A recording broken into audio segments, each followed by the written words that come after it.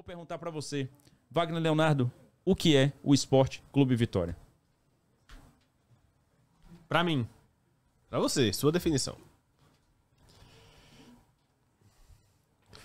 Esporte Clube Vitória, para mim e para minha família, tem sido a oportunidade de que a oportunidade de eu poder demonstrar quem eu verdadeiramente sou, sabe? Nesse podcast eu pude realmente mostrar quem eu sou, mas o, o Esporte Clube Vitória me abraçou de uma forma, me deu a oportunidade de eu, de eu ser quem eu realmente sou.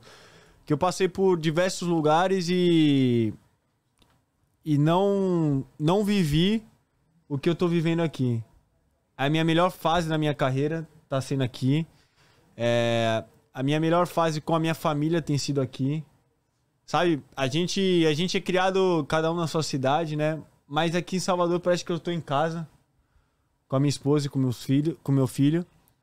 Então, o Esporte Clube Vitória para mim é, é paixão, é emoção, é amor, sabe? É carinho.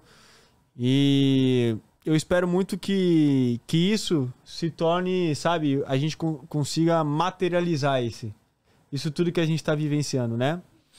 Então, é, em resumo, o Esporte Clube Vitória deu a oportunidade de mostrar quem eu realmente sou. Deus abençoe. falar mais o que? Saúde para você. Boa. Muito obrigado. Gente, Boa. Wagner Leonardo.